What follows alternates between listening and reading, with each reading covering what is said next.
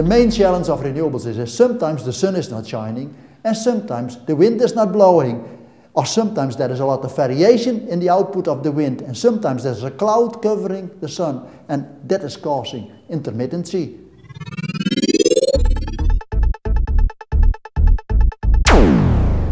Energy storage, uh, it sounds great and it would be great if we had it.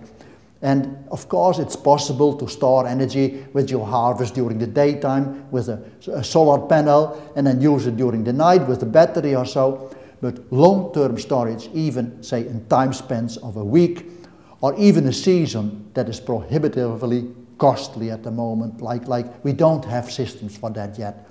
And uh, it would be nice if we had them, but at the moment I think we still have to rely on using natural gas as a backup fuel.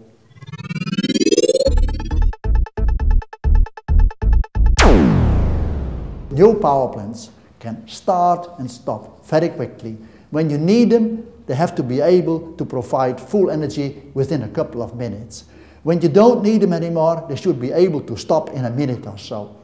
Uh, when you have uh, some problems with forecasting the load, they have to be able to ramp up very fast and very fast down. Those are the characteristics of the modern power plants which are needed in times when you have a lot of renewables in the system. Okay.